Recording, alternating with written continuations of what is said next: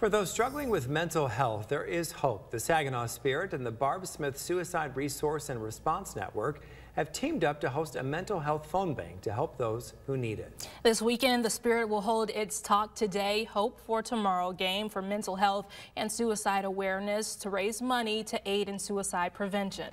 TV5's Meg McLeod joins us live in Studio B, Studio B that is, in our phone bank. Meg.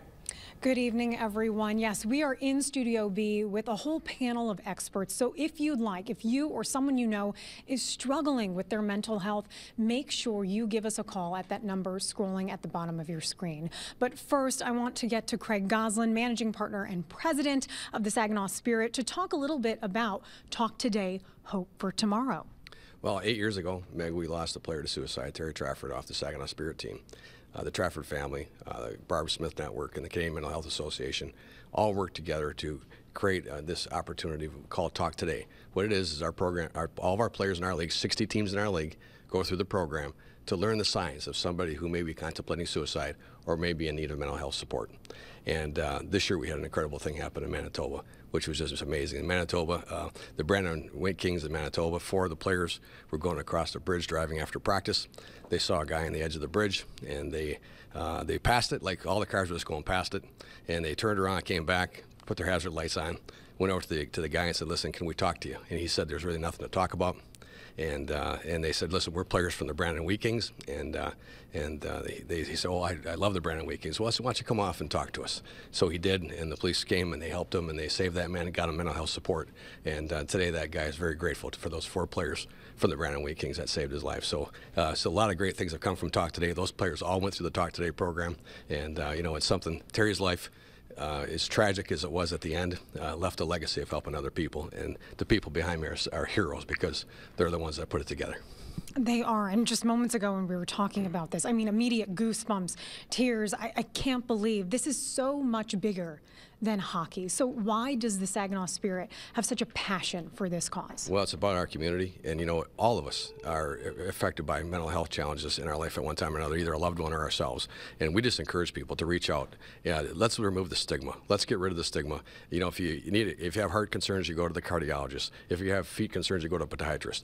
If you have mental health concerns, go to a mental health professional and talk to somebody. Get some support. You know, and, and there's there's alternatives. You know, and we can they can help you. And uh, that's why I encourage you to call the number here today uh, call the, the 988 number and get, get help and uh, reach out to, to people that, can, that are here to help help you through these difficult times. And that's what we're hoping people do so they don't take the same decision that Terry Trafford made.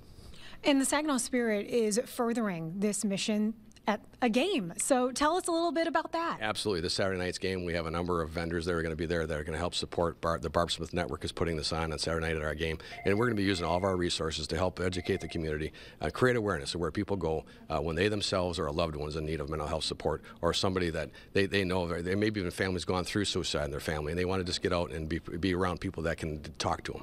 And uh, they're welcome to come to the game too. We've got a number of, of support systems in place Saturday night and we welcome all, all everybody to come out to the, to the event. And uh, be part of what's going to be very special. And how can people purchase tickets and also the benefit for the Barb Smith Suicide Resource and Response Network for those who do purchase tickets? Absolutely. Best way is just go online, saginawspirit.com. All the information is on there, and uh, and you can see where you can go on there and, and help support the, inform, uh, the, the, uh, the, network that's going on here with Barb Smith and her group. They're, they're heroes.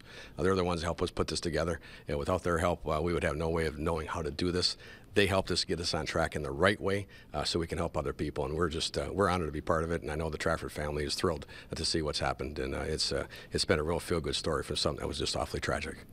All right, Craig, thank you so much. Once again, ladies and gentlemen, give us a call at the number at the bottom of your screen if you or someone you know needs help with mental health. For now, reporting live in Studio B, I'll send it back to you.